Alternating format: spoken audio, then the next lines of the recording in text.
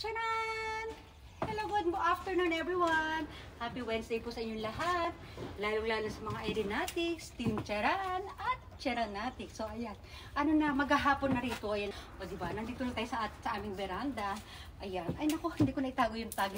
Alam mo kasi mula nung binili namin to, hindi pa namin nagagamit sa labas. Nagamit namin pang charan-charan lang dyan sa ano. O, di ba? O, antasa. O, naku, wala na pala akong namamainit na tubig kit. Hmm. Padagdag ako kay kalahati kasi gusto ko uminom habang magchacharan dito. So, habang inaantay natin yung ano, mag-flex muna tayo, ha? Flex. Flex. Flex. O, pag mag-flex, kailangan nakataas yung paang ganyan. O, di ba? Ipapakilala ko sa inyo yung aming mga ano dito, yung mga pan-display namin dito. Ito si hindi, ko alam kung anong pangalan niya basta ano matagal na sa amin to. Halos kaidaran siya ni Brandy. Pangalanan na lang natin siya si Mocha. Mocha. Si Mocha. Ito naman si si sino ba to?